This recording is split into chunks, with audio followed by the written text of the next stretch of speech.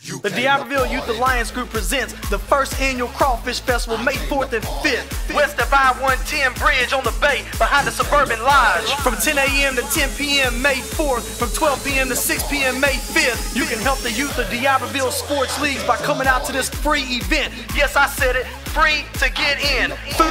Music, games, carnival rides, jump houses, obstacle courses, and more. Entertainment, Hanover Drive, Adams Deception, Days Gone, and AMS recording artist Young Cannon, and more. With DJ Reverend Red on the ones and twos. The D'Iberville Crawfish Festival. May 4th and 5th, west of I-110 Bridge on the Bay, behind the Suburban Lodge. Also Sunday, May 5th, a crawfish cook-off. May the best crawfish win. Also a karate demonstration by the national karate team of the Gulf Coast. The. D'Iberville Crawfish Festival. Sponsored by FEB Distributing, Hertz Equipment Rental, Gollott Seafood, Back Bay Bounce and more, Sweatman Security, and a big special thanks to the city of D'Iberville.